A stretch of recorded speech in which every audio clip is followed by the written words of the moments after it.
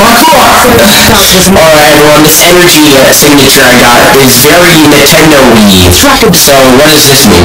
Oh my. Believe it. It's the Super DS. Here. What, what are you guys talking about? This is the Super DS. It was taken so that no scalpers could ever scalp any more DSs.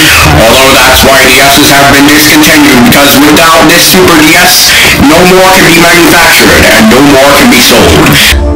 If we get this, then we can buy and sell DSs at our will. Man, I love this jungle gym. Ooh, ooh, ooh. Uh, so can I play uh Far Cry on here? No, no, dude, that's that's that's Xbox. One. Two. Alright, so are we gonna like get like Star Wars on this DS or?